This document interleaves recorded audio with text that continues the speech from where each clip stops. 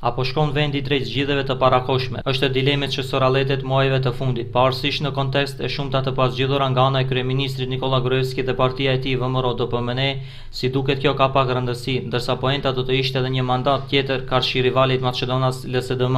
Edhe krahas takimit të sotëm të paralajmëruar me liderin kundërshtar Zoran Zaev, kryeministri Gruevski vlerësoi se nëse nuk gjendet zgjidhje për komisionin hetimor të ndodhive të njëzet e katër dhjetorit, do të përdorë strategji të re. Por ai nuk ka precizuar se çfarë do të përbënte kjo strategji, por kjo lë të nënkuptohet se vendi në një kohë të afërt mund të përballet me zgjedhje të parakohshme. Nëse merret parasysh bllokada e Komisionit, perspektiva e pashpresë evropiane, raportet nxehtë ftohtë me partnerin e koalicionit, BDI, por edhe gjendja në LSDM, do të ishte atut kryesore për këtë sfidë, më së voni në pranverë bashkë me ata presidenciale. Ekspertët pohojnë se zgjedhje të parakohshme në pranverë do të ketë ndoshta edhe më herët. Sipas tyre, madje dy partnerët e koalicionit VMRO e BDI do të aktrojnë mospajtime rreth kontestit të emrit dhe se kjo do të ishte shkas për nënshkrimin e zgjedhjeve. Ndoshta do të shfrytëzohen dallimet rreth branitellave, por në këtë nuk besoj, pasi kaloi Sllupçani.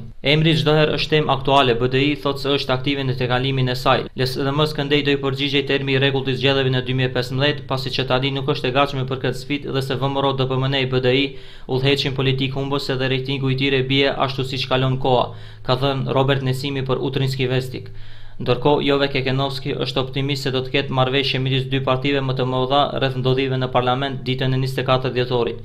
Por e gjithë kjo kuptohet se do të ishte e plotë atëherë kur të pyeten edhe shqiptarët, veçmas BDI, e cila në kontinuitet ka thënë se vendi duhet t'u nënshtrohet prioriteteve tjera, siç është emri, integrimet apo tjera.